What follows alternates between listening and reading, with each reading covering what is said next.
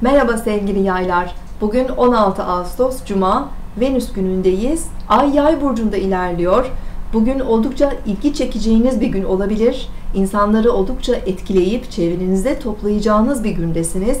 Ee, bilgi dağarcığınızın genişliğine ve bağımsız karakterinize hayranlık duyacak insanlar bugün gün boyu etrafınızda olabilir. Bu da hem günlük hayatınızda hem de iş hayatınızda sizin için avantaj olacak.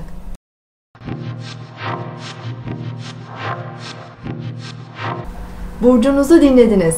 Bugün 16 Ağustos Cuma, Venüs günündeyiz. Bugün Ay Yay burcundaki ilerlemesini sürdürüyor. Dün etkinleşen e, Merkür-Uranüs arasındaki üçgen açının keyifli etkisi bugün de devam edecek. Seyahatler, geziler, yurt dışı ile ilgili çalışmalar, medya yayıncılıkla ilgili faaliyetlerde bugün güzel, olumlu gelişmeler e, olabilir. Öğle saatlerinde Güneş ve Ay arasında üçgen açı etkinleşecek. Bu da hem iş hem özel ilişkilerimizde olumlu ve pozitif etkiler verecek. Her türlü girişimlerimizde şanslı ve destekleyici enerjiler var gün içerisinde. Bugün bir diğer güzel etkide Venüs e, Başak Burcu'ndan ayrılıp Terazi Burcu'na geçecek.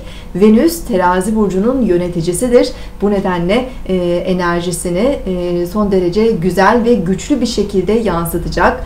Venüs 12 Eylül'e kadar Terazi burcunda olacak. Ee, sevgi, aşk, ilişkiler, ortaklıklarla ilgili konularda e, olumlu e, girişimlerde bulunabiliriz bu süreç içerisinde. Bunun yanı sıra her türlü sosyal ilişkide, sanatsal faaliyetlerde de Venüs'ün Terazi burcundaki etkisi bize e, olumlu olarak destekleyecek.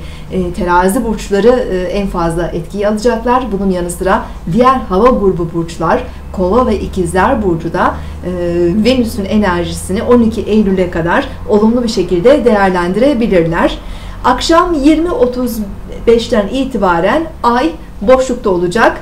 E, gün içerisinde e, her türlü girişimde e, bulunabiliriz. 20.35'ten itibaren e, daha rahat, keyifli e, faaliyetlerde bulunup dinlenmeye zaman ayırabiliriz. Yarın tekrar görüşmek üzere. Hoşçakalın.